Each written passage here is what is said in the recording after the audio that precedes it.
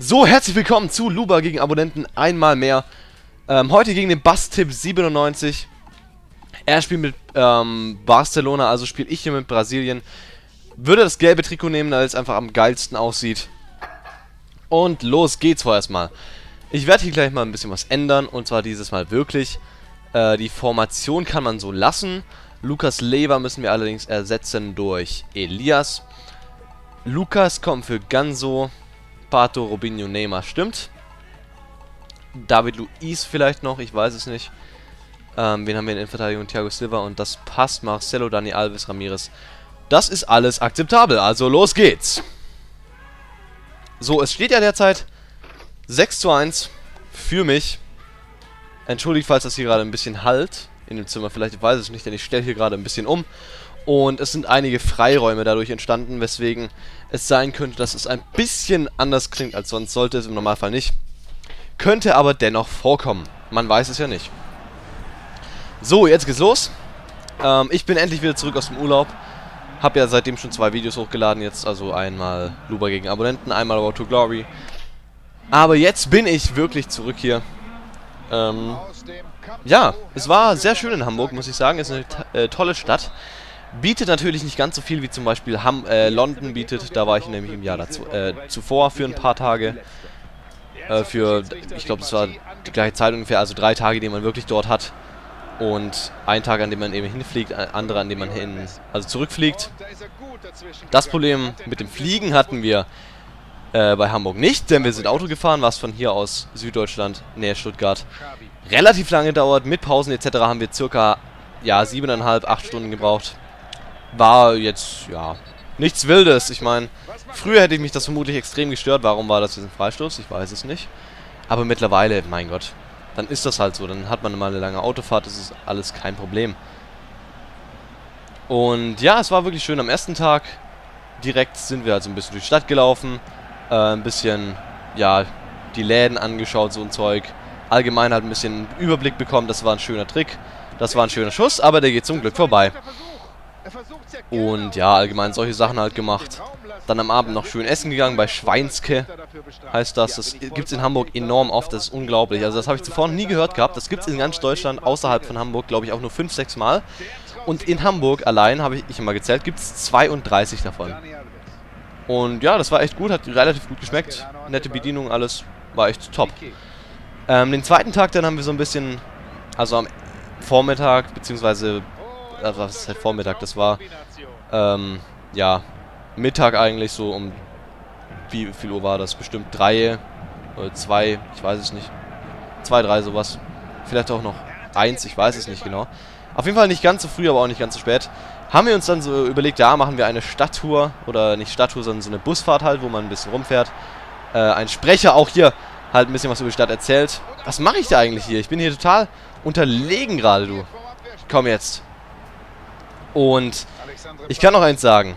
Stadtfahrten sowas sind was Schönes, aber nicht mit einem solchen Sprecher. Der Typ war sowas von inkompetent, ja! 1 zu 0 durch Alexandre Pato. 13. Minute. Ähm, das nenne ich mal hundertprozentige Chancenverwertung. Erste Chance, erstes Tor hier. Klasse Schuss. Guter Pass zuvor. 1 zu 0. Denn, ja, man kam an ein paar schönen Punkten vorbei. Das war auch alles ganz gut. Aber der Sprecher, der das alles erzählt hat, war so verdammt nervig. Unglaublich. Also wirklich unglaublich, wie nervig dieser Typ war. Denn, äh, ja. Zum einen hat er permanent völlig monoton geredet. Klar, man, ich hätte jetzt auch nicht unbedingt eine ewige Motivierung für sowas. Ganz einfach, weil man Scheiß verdient, denke ich mal, in so einem Job. Und dazu ja immer das Gleiche sagen muss. Aber dennoch, es geht wenigstens ein bisschen, äh, bisschen, ein bisschen besser, ja. Weil er hat wirklich geredet von wegen, ähm, so, und jetzt sehen Sie auf der rechten Seite, also zum einen extrem monoton, aber zum anderen auch so nuschelnd noch, man hat es kaum verstanden. Und die Witze, ey. Die Witze waren so schwach teilweise, das war unglaublich, da hat man wirklich gedacht, bitte, bitte, bitte, bitte, sei einfach ruhig. Bitte. Da kann man Oliver Pocher, Mario Barth kann man da reden lassen, die sind viel witziger. Gut, die sind wirklich witziger. Obwohl ich sie jetzt im echten Leben nicht wirklich gut finde. Als Comedian. Ho, das war eine gute Chance. Aber der hat einfach so Witze gebracht. Das war echt zum Heulen. Mir fällt immer noch einer ein. Da waren wir halt, ähm, wo waren wir da? In der Speicherstadt, glaube ich, oder irgendwo. Oder ein bisschen weiter, glaube ich schon, hat er halt so gesagt, ja und, oder das ist jetzt viel zu gut betont, ich möchte das ja originalgetreu nachmachen. Ja, und gleich sind wir an der höchsten Stelle Deutschlands. Dann war eine Minute später ungefähr standen wir auf so einer Brücke, so einer Eisenbahnbrücke, unter denen halt Schienen sind. Oder genau, er hat davor noch gesagt, ja, die höchste Stelle Deutschlands, äh, die höher auch als die Zugspitze ist. Ja, dann standen wir auf der Brücke und er fängt so an, so, nun sind wir an der höchsten Stelle Deutschlands, denn wo kann man schon auf die Zugspitze spucken? Und wirklich jeder, ausnahmslos jeder, hat im Bus gedacht einfach nur, oh mein Gott, meint ihr das ernst? Oder will der uns verarschen, indem er schlechte Witze reißt? Das war wirklich zu diesem Zeitpunkt nicht sicher. Als er dann aber weitergemacht hat, genauso schlechte Witze oder fast so schlechte Witze zu machen, ich meine, das zu unterbieten, das geht eigentlich nicht. Also ein bisschen besser waren die Witze danach, aber äh, auch nicht viel. Und er hat einfach weiter und weiter und weiter gemacht damit. Und irgendwann war einem dann klar, der Typ hat einfach entweder einen ziemlichen scheiß Vertrag unterschrieben, weil er das sagen muss, oder ist extrem unwitzig. Was auch immer es war, er war nervig. Die Stadtführung war, oder die Stadtfahrt war dennoch ganz schön. Ähm, man hat einiges gesehen, konnte auch dann eben mal sagen, ja, da möchte ich vielleicht später nochmal hin. Ja, da möchte ich später nicht mehr hin. So in dem Stil. Und ja, das war echt okay. Oder haben wir das schon am ersten Tag gemacht? Ich bin mir gerade echt nicht sicher. Ich glaube, das war der, der zweite. Nein, das war der erste. Quatsch, das war der erste. Genau. Am zweiten Tag nämlich sind wir dann ähm, morgens weil man da, wir haben auch direkt am Bus dann so, so Rund, also Hafenrundfahrtstickets gekauft, da, dass man eben mit seinem Boot, mit so einem Boot rumfahren kann. Nein, es war der dritte Tag. Boah, bin ich behindert. Ich habe keine Ahnung gerade, ehrlich gesagt, was wir gemacht haben. Ne, genau, am zweiten Tag haben wir, sind wir morgens nach, äh, auf die Reeperbahn, St. Pauli und so. Gott, ich habe keine Ahnung, was ich labe, echt. Also, falls ihr es nicht verstanden habt, keine Sorge, ich auch nicht. Also das, was ich jetzt gesagt habe. Und ja, haben uns das nochmal angeschaut, sind da essen gegangen, McDonalds und so. Und haben dann später nachmittags noch Verwandte getroffen, die dort oben im Norden Deutschlands leben. Also, um genau zu sein, die Cousine meiner Mutter und den Cousin meiner Mutter, die beide in Hamburg leben, beziehungsweise die Cousine arbeitet nur in Hamburg. Der Cousin arbeitet und lebt in Hamburg. Und arbeitet dort als Schauspieler, als Theaterschauspieler im Ohnsorg-Theater. Das ist so ein Theater, wo halt Stücke auf Niederdeutsch oder auf, auf ja, wie soll man sagen, ja, dass das dieses, dieses Deutsch da oben halt äh, aufgeführt werden. Und das versteht man wirklich nicht, wenn man nicht von dort kommt. Das versteht man kein Deutsch, also wir haben uns keine Vorstellung angeschaut oder so, aber wir haben ihn getroffen, er hat uns da sogar so eine kleine Rundführung in diesem Theater gegeben, das ist echt schön, muss ich sagen, und war ganz witzig. Und dann abends sind wir noch so ein bisschen lang gelaufen durch diese lange Reihe, heißt das, glaube ich. Das ist auch so ein bisschen das Schwulenviertel in Hamburg. Äh, haben dort noch was getrunken, äh, in so einem Restaurant. Und es war durchaus nett. Was ich da vor allem faszinierend finde, dass dort auch so kleine Geschäftchen noch durchkommen in dieser langen Reihe. Also, das kennen meine heutzutage eigentlich gar nicht mehr. Das ist sowas wie Änderungs... Gut, Änderungsschneidereien gibt es öfters mal, weil das einfach, gerade bei, bei teuren Sachen wie Hochzeitskleidung oder sowas, ähm, damit kann man Geld machen. Aber da gab es auch dann Sachen wie, ich weiß es nicht, Schuster. Gab es da einen Schuster? Keine Ahnung, einfach, einfach so kleine Sachen, so handwerkliche Berufe auch oft die heutzutage einfach kaum noch eine Chance haben, durchzukommen. Und das gab es da echt viel, das war klasse. Am dritten Tag haben wir dann diese, diese Hafenrundfahrt auf dem Boot gemacht. Und ja, ich weiß nicht, ob ich gerade Schwachsinn erzählt habe. Ich glaube, das haben wir an anderen verschiedenen Tagen gemacht, aber scheiß drauf. Das wird schon irgendwie stimmen. Irgendwie. Irgendwie. ich glaube zwar nicht, dass es stimmt, aber scheiß drauf. Ich habe es euch jetzt erzählt, was ich gemacht habe in welche Reihenfolge ist ja im Endeffekt relativ irrelevant. Aber jetzt bin ich wieder da, kann hier Video Videos machen und ja, zum Zeitpunkt des Uploads dieses Videos habe ich vermutlich auch schon FIFA 13 Demo-Videos gebracht. Ähm, ups, das war ein pa Fehlpass. Ähm, zum jetzigen Zeitpunkt haben wir den 10. Und das heißt, morgen kommt die Demo raus. Das Problem ist, morgen habe ich Mittagsschule. Leider. Ja, das neue Schuljahr hat auch in Baden-Württemberg endlich mal begonnen. Endlich. oh, schade an die Latte von Neymar da. Puh, das wäre es gewesen. Das 2 zu 0, das wäre wichtig gewesen auch. Und ja, habe jetzt auch den Stundenplan bekommen, KS1 und so. Oh yeah, baby, yes. Also, damit meine ich eigentlich nein, Baby, nein. und da habe ich morgen Mittagsschule, nicht ganz so lang zum Glück, um fünf, äh, Quatsch, fünf.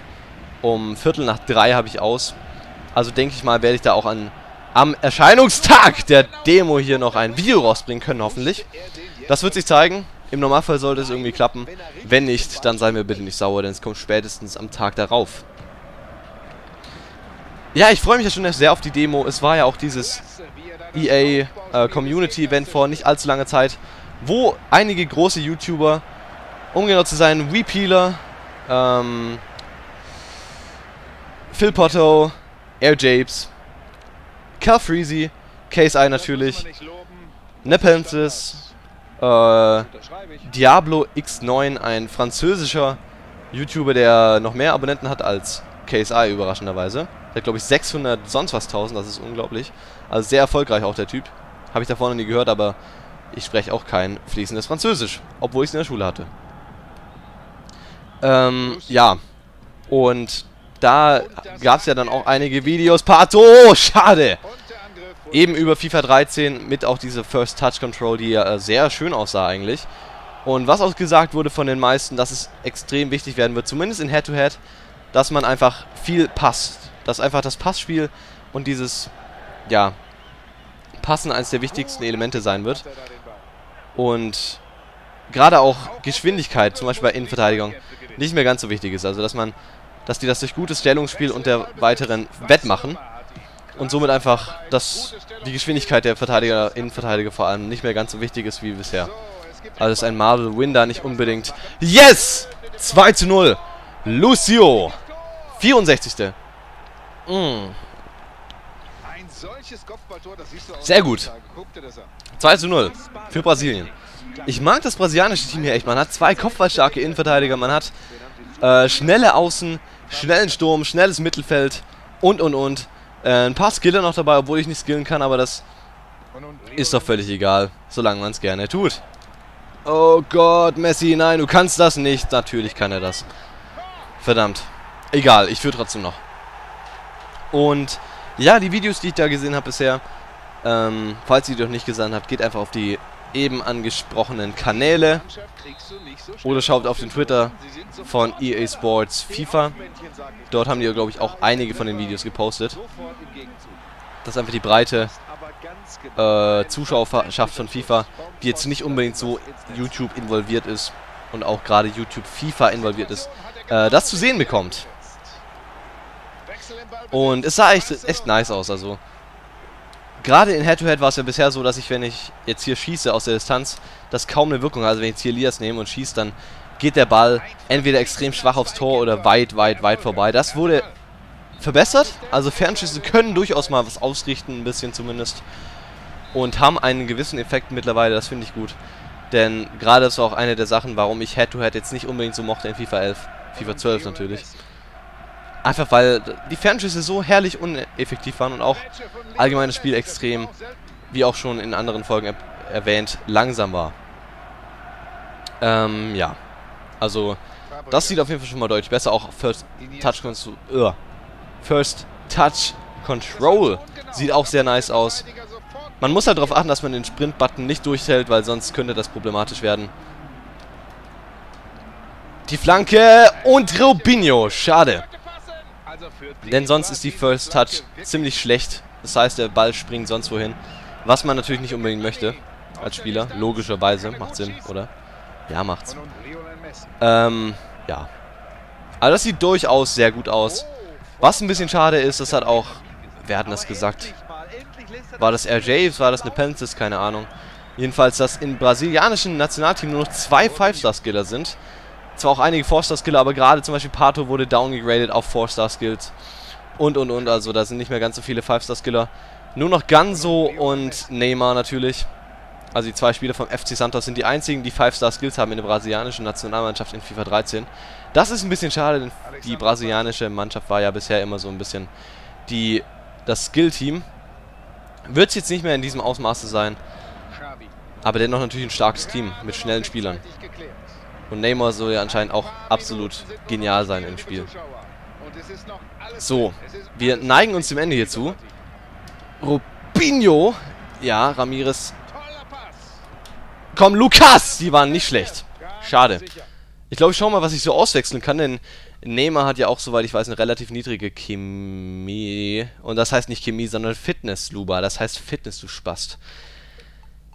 Ähm, Hulk. Jap. Dann machen wir das so, dass wir die zwei hier tauschen, auf den rechten Flügel Hulk bringen. Der ist schnell, der kann gut spielen. Und David Luiz in die Innenverteidigung. Für Lucio. Weil David Luiz einfach absolut overpowered, absolut OP ist, Alter. Und das sollte nicht schaden. Ich glaube, ich gehe mal ein bisschen nicht Flügelwechsel. Das wollte ich eigentlich gerade nicht machen. Ich wollte defensiv gehen. Und das war abseits. Somit können wir jetzt nämlich wechseln. Ich weiß nicht, ob er auch was wechselt. Ja, er wechselt was. Was wechselt er? Er bringt David Villa für Chest Fabregas.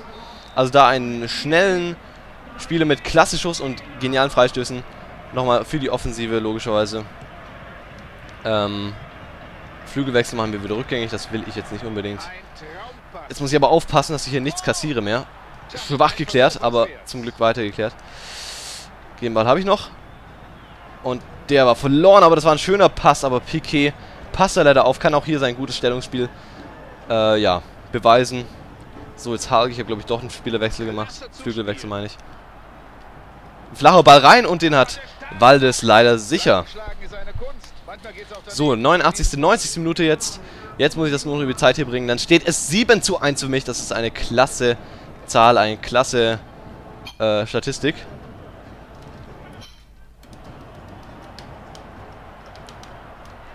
Und Robinho ist da nicht schnell genug für Mascherano. Schade. Da fange ich wieder mit den Skills an, die ich nicht kann. Und da ist es vorbei. 2 zu 1 gewinne ich, 7 zu 1 für Luba. 7 Luba, 1 Abonnenten. Ich kann kein Rückspiel machen, einfach aus dem Grund, weil es den anderen gegenüber unfair wäre, gegen die ich noch nicht gespielt habe.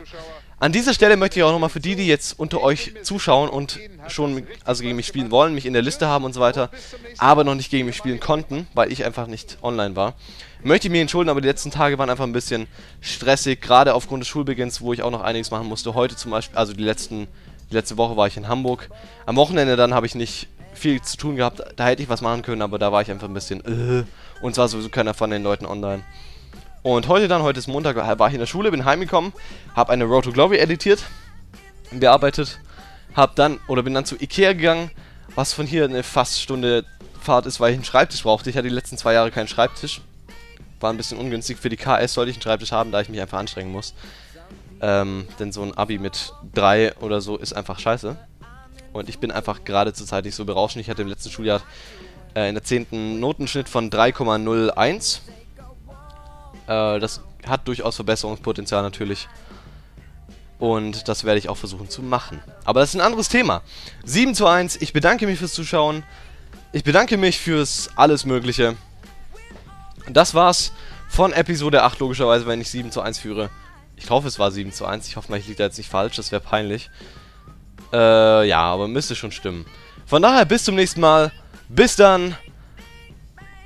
Ja, euer Luba.